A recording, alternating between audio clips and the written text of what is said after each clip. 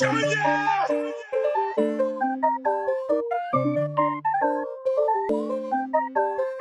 now rocking with the mortal Empire, the one and only Lewis. Euro Euroglock made it shit.